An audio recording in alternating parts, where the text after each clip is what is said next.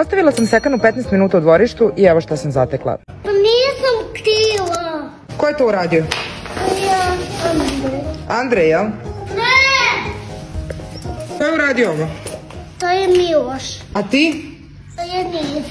Da rezimiramo, slomila je dva kišobrana, zgulila je stub ispred kuće, sve je pobacala po podu i očerupala je bebu. Iskopala je zemlju iz saksije i pobacala po stepenicama, ne znam kako se tu našao peškir, zatim je umazala vrata prljavim rukama i žvrljala ih. Naravno, redom je okrivila koga je stigla, jer nije ona, bože. Ali to nije ništa. Evo gde se popela. Hodila je po ivici terase kod cirkuska plesačica po žici. A ovo je saksija iz koje je zemlju izvrnula. I sad Milica mora da čisti dvorište. Evo kako ona izgleda iz tičije perspektive. Mrzim svoj život. Nakon što je sve oko sebe demolirala i dovela sebe u opasnost da pogine, dva sata nije prošlo, opet sam je našla na terasi. Sreća, uhvatila sam je u početnom stadijumu, tek je počela da se vere. Vignula sam, sekana silazi, na šta ona meni kaže, ljudi moji, ne brini mama, neću pasti. Jel možete vi da zamislite taj mozak? Nakon što sam je spustila, sam inicijativno otišla u kaznu, više ne moram ni da joj kažem, sama ode, dok mi je moj predivni sin pomogao da očistim dvorište. Sad kad malo bolje razmislim, namjerno je otišla sama u kaznu da ne bi čistila dvorište s nama. E, hvala ti Bože što je bar Andrej kako treba kad je ona mimo svijet.